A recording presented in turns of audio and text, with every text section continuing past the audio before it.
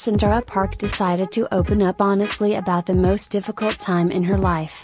She began to tear up as she confessed that when the group disbanded, she suffered anxiety about her future. Now that she didn't have her three members next to her, she wondered what she was able to do on her own. She had such low self confidence because during the time as a group, she felt useless.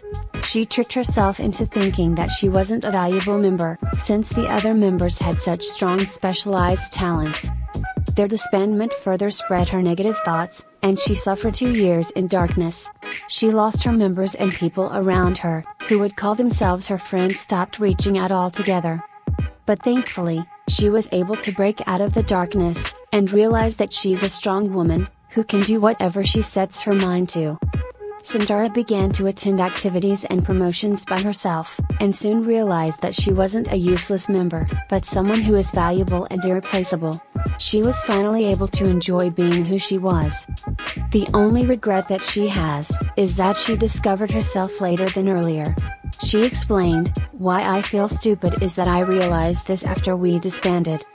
Although Sandara Park may have seemed to be as bright as ever during her 2NE1 days and the few years after their disbandment, she was suffering from negative thoughts. Thankfully, she's now found happiness in standing by herself and regained her confidence.